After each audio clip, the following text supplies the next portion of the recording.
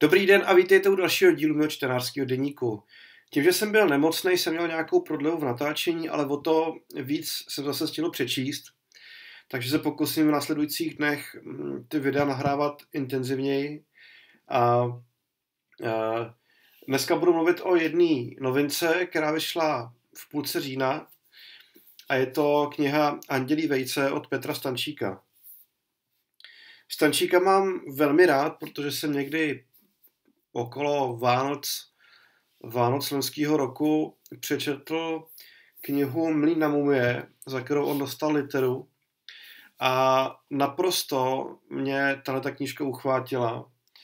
Eh, jak slohem, který je mm, neuvěřitelný a Stančík je takový trošku anarchista v rámci český současný prozy. On používá postupy, který částečně koketujou, koketujou s archaickým slohem, částečně tam má jako až dadaistický obrazy a, a ta proza je, je jako fakt neuvěřitelně specifická. Ten, ten jeho rukopis je, je hodně stylový.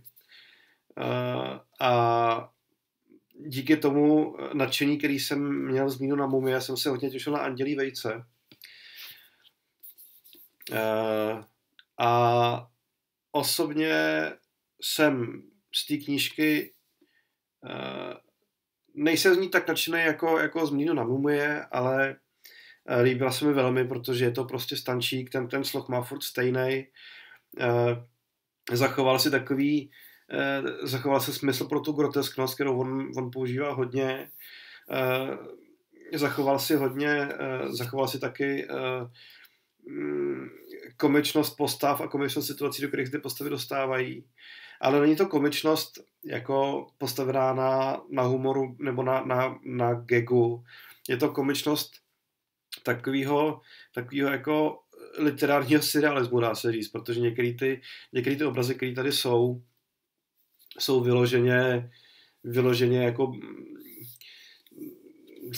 těžko to popsat. Je to, je to, prostě, je to prostě literární anarchie a, a Stančík eh, tím, že svoje knihy, jak mi na mumie, tak Andělivice zasadil do prostředí přes sto lety, tak člověku se nabízí otázka, že takovýhle obrazy se míhaly před sto lety hlavou lidem, který uh, se vydali absintem nebo si šňupli nějaký úplně první kokain, který tady měli. A uh, ta, to vyprávění Stančíkovo se právě jak v Mlínomě, tak v Andělím vejci pohybuje dopředu skrze skrze jako řetězec, řetězec událostí, které jsou eh, komický, groteskní a, a směšný, ale zároveň je to, je to hodně, hodně seriózní text, není to, není to žádná humoristická literatura. A uh, abych se dostal k nějakému ději, tak Stančík, jak jsem říkal, uh, opět se vrací do historie. Uh, a v Andělím vejci kombinuje dvě časové roviny.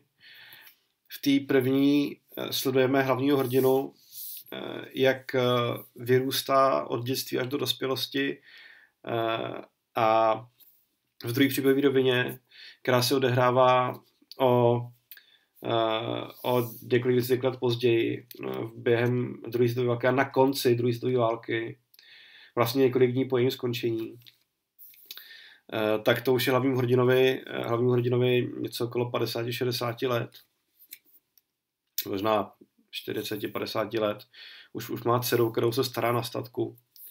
A vlastně ta příběhová od dětství do dospělosti mě bavila víc, protože Eh, hlavní hrdina potkává takový ty figurky, které tehdy existovaly, takový, takový ty spiritisti a různý, různý vědátoři a koumáci, kteří vyvolávali duchy nebo se přeli o, o teologické myšlenky, eh, což byly věci, které na konci 19. a začátku 20. století byly v té společnosti populární.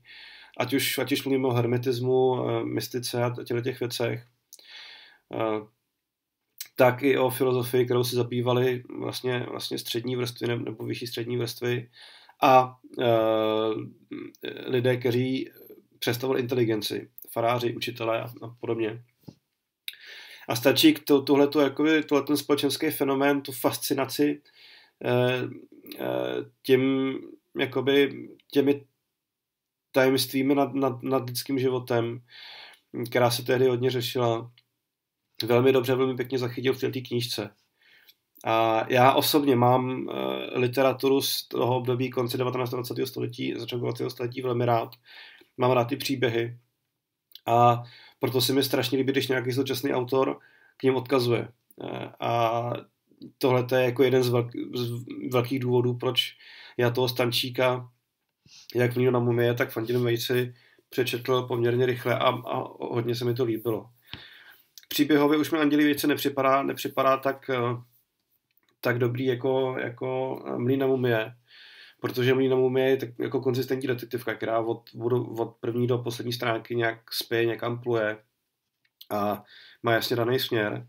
Andělí Vejce nejenže přeskakuje v rovinách, ale, ale hodně jako se snaží roztáhnout ten, ten život toho hlavního hrdiny. E, takže se od školních let dostaneme až až na univerzitu v Praze a dostaneme se potom do války, dostaneme se na Transsibirskou magistru, dostaneme se do legií a e, sledujeme vlastně hrdinův průchod e, s první světovou válkou i koncem druhé světové války a to všechno na nějakých 200 stranách, což, což e, je docela jako zauštěný koktejl.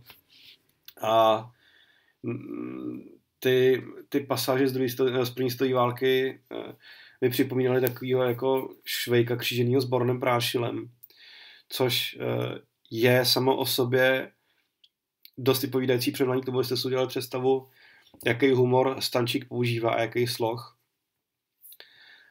Ale já osobně jsem byl nadšený s tom mlínem, můj přece odehrával v té staré Praze, v tom židovském městě před asanací a to je, to je období, který mě strašně nadchlo a ta knížka mi na méně díky tomu hrozně pohltila. A to pohlcení mi u Andrýho Vejce chybělo.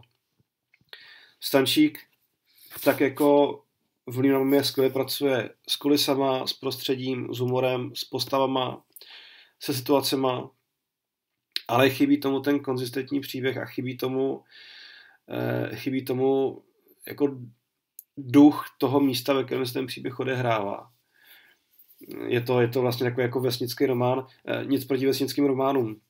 Je to, je to dobře napsaný vesnický román, nebo spíš jako parodie na vesnický román, ale uh, ta, ta tajemná mystická Praha z Mlínu na Mumie tu předchozí knížku posouvala do úplně jako jiných rovin, ve kterých se bohužel Andělivice nepohybuje. Nicméně eh, to říkám spíš proto, abyste od uh, téhle stančíkové novinky nečekali to samý jako od Nino Nomuje. Pokud ano, budete zklamaný, pokud od toho nebudete čekat tolik, tak se vám to bude líbit, protože je to přesně ten stančík, kterýho uh, jsem si já díky knize Mlína Mumie zamiloval. A jsem, jsem rád, že pokračuje v tomhle svém anarchistickém slohu a vyprávěckým, vyprávěckým stylu. Těším se, z jakou knížku zase přijde za rok nebo za dva protože je, je radost eh, číst člověka, který takhle pracuje se slovy. A osobně bych doporučil, pokud jste Stančíka už četli a líbil se vám, tak se Andělice určitě kupte. Pokud eh, byste s tím autorem chtěli začít, kupte si nejdřív na mumie a teprve později přejděte, přejděte k Andělímu vejci. Nebo ještě k jiným publikacím, který, který jsou u Stančíka venku. A tolik za mě dneska. Jsme na nějakých 9 minutách, to jsem ještě stále přetáhl. Já se snažím to zkracovat, protože vím, že jako ten formát není, není, není moc příjemný pro diváka, když je to zdlouhavý. A příště zkusím třeba nějakou 7 minutovku a pak 5 minutovku uvidíme. Tak se mějte. Ciao.